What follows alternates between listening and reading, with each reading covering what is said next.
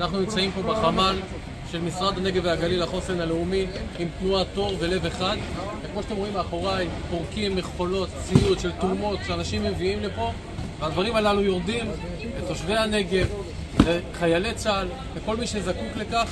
אני קורא לכם לתרום, תגיד לנו את, ה, את המספר אה, מספר טלפון של החמ"ל פה, כוכבית כוכבית 31. 3197, כוכבית 3197, מתקשרים, גם מי שצריך לקבל, מגיעים אליו עד הבית, וגם מי שרוצה לתרום, אז יש לנו פה מכונות שלמות, ארגזים שלמים שיורדים לשטח.